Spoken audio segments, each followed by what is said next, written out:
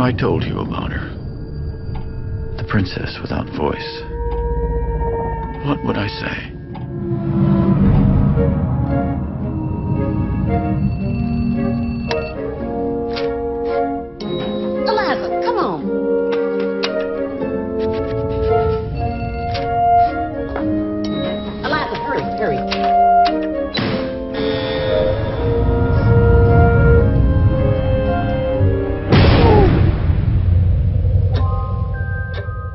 She deaf?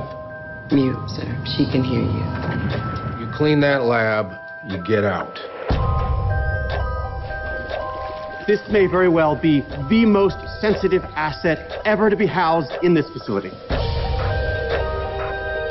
You may think that thing looks human. Stands on two legs, right? But we're created in the Lord's image. You don't think that's what the Lord looks like, do you? This creature is intelligent, capable of language, of understanding emotions.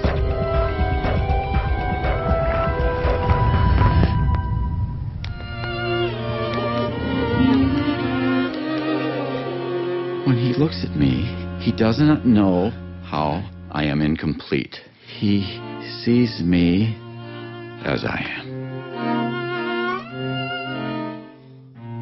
J'avoue, je n'ai bavé pas vous, mon amour. Avant d'avoir eu vent de vous. The natives in the Amazon worshiped it like a god. Get him out. What are you talking about? No. We need to take it apart, learn how it works. I don't want an intricate, beautiful thing destroyed. We can do nothing. I'm sorry. Don't do this, Elisa. What is he saying? Don't do this. Le temps That's not even human.